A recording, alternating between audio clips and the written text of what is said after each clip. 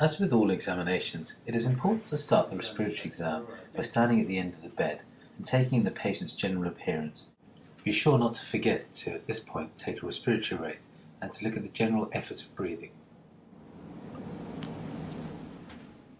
Look closely at the chest wall and axilla for signs of previous chest drains and both anteriorly and posteriorly for evidence of lobectomy or pneumonectomy scars. Can you just sit you forward?